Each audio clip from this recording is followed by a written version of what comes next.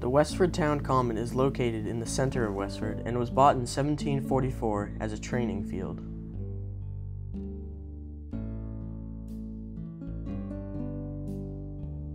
One of the unique features of the town common is a military cannon at the tip of the triangular green. Well, my name is Ellen Hardy, and I moved to Westford with my husband in 1967, so this is our 46th spring here.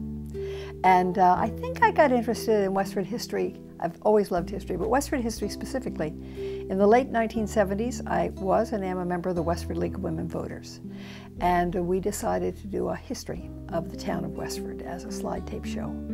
And uh, sort of by default, I, I ended up writing the script for that. And in the process of doing that and getting in touch with Westford residents to find old photographs of Westford, I got very quickly smitten with the history of this town. So that's what brought me to Westford history. Well, there's a wonderful story about the cannon. Um, in, in 1898, the chairman of the Board of Selectmen, whose name was Sherman D. Fletcher, a good old Westford name, uh, got in touch with the man who was the Secretary of the Navy. And he was a gentleman by the name of John D. Long, who had been the preceptor or principal at Westford Academy.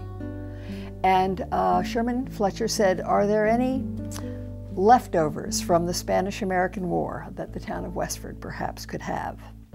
And they found that cannon in storage somewhere in Washington, D.C., which had been in uh, uh, Santiago, Cuba.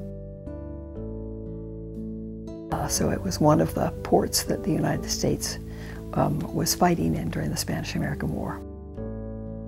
And it was loaned to the people of Westford um, as an example uh, so that it would be the, the, an example of why there should be no more wars.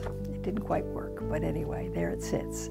Uh, the cannonballs also came at the same time, and if you are perceptive, you will notice that the cannonballs do not go with the cannon. Uh, that was so that there would be no one who would try to fire the cannon. And the letter from Washington said specifically that if it was ever fired, the U.S. government was not in any way responsible for any damage that was done. So it was placed there. It came by train from Washington, D.C., and was put right on that, uh, that point of the Westford Common.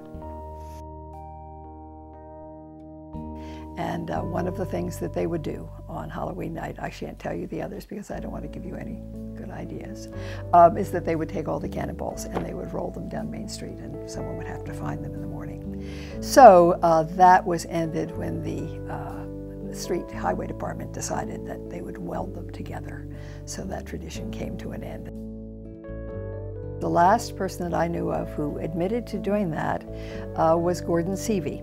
And Gordon was born in Westford in the first decade of the 1900s. There were a hundred, and we're not sure where they all went. Um, the Roudenbush Community Center was built at about the same time. It was the second Westford Academy. It was built as Westford Academy, and that was in 1897. And if you look at old photographs of the Roudenbush built when it was brand spanking new, there are little triangles of uh, cannonballs all the way around the circular driveway. So there are probably about seven in a pile. So that seemed to consume some of them. Um, when I was involved with the Roudenbush, we uh, took a metal detector and we dug around a lot to see if perhaps they had simply been buried under the lawn, but we have never unearthed the others. So the only ones that still remain are the piles that are, uh, are on the common.